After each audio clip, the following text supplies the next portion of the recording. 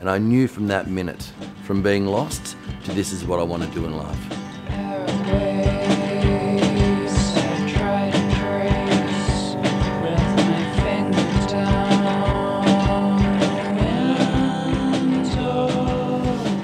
When did I feel lost? Now, a lot of people probably don't know this about me, but I grew up in the country as a, as a youngster.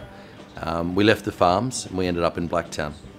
Uh, I did my schooling there, and I have to say that uh, school and I didn't get on. Um, I wasn't very academic, and uh, we had a mutual agreement when I was 15 that I would leave them and they would leave me. I really didn't know what I wanted to do in life. In fact, I had no real passion. Um, I thought about being a, a, motor mechanic. I thought about working on the railways.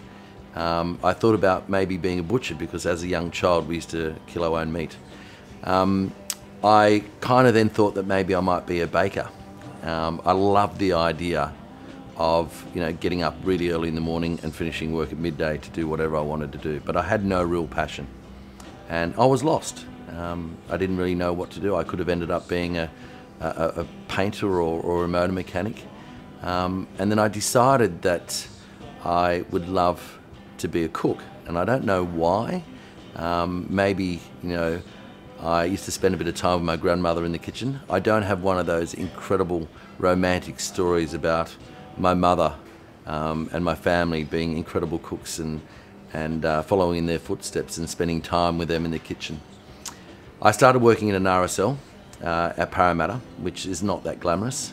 And I used to idolise a guy that was on the deep fryer because one day he wanted to be on the grill. Uh, I went for about 20 different interviews. Um, I didn't get one of them. And I ended up getting uh, an interview at a place called La Belle Helene, which happened to be one of the, the best restaurants um, in the country. And I went in there and I basically said to the, the owner and the chef, you give me a job and I promise you, you will not uh, regret it. And for those same words that I said to him, I got the job. Um, and hence I ended up being the head chef there by the time I was 19, and uh, then moving on to Manfredi, and then buying my first restaurant when I was 22.